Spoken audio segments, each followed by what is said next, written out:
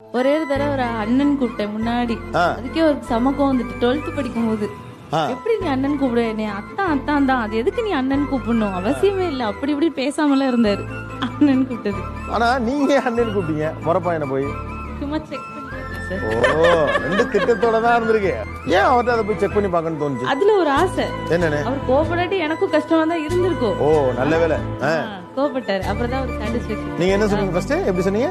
அண்ணன் கூப்பிட்டு சொல்லு தங்கச்சி அப்படின்னு சொல்லி தான் இருந்திருக்கும் கடுப்பா இருக்கு. ஆ, எ- என்னமோ ஏதோ ஒன்று பழகுற மாதிரி இருந்திருக்கும். இது உரிமையா அப்படி சண்டை போட்டா வேணுக்குன்னு தான் பண்ணேன் அப்படின்னு இருந்துச்சு.